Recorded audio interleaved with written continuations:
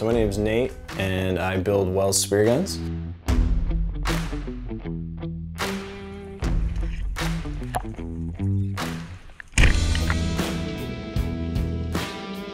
So this is the 67 inch double roller with 16 mil bands. So it's got a ton of power and then 11 32nd shaft and closed track. Comes in either the slight mid handle or rear handle.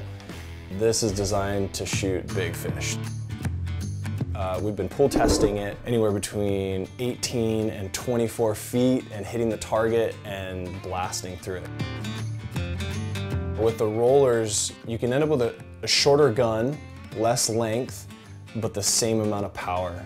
Easier to maneuver gun than you would have in a massive tuna gun. It would probably be either five to 10 inches longer than this one, and you're putting all that power into it and getting less recoil, so less of that initial explosion that happens when you're shooting a standard, you know, four or five, maybe six band tuna gun.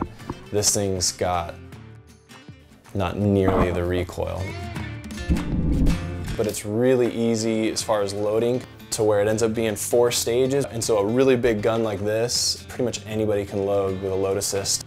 And so I do uh, custom shafts with these from Dean at Addiction. And so it has a single tab that then allows it to release perfectly and uh, doesn't have any of that shaft hang up at the last second that some rollers will have an issue with if they're not designed correctly yeah, it was kind of a fun process to go through and figure out what, what makes a roller work. After I started to see how it works and what doesn't work and what does work, now I've, I'm a believer and it's just amazing to see how powerful these things can be. I have confidence in it, I know it works, and uh, yeah, it's, it's, it's the go-to for tuna.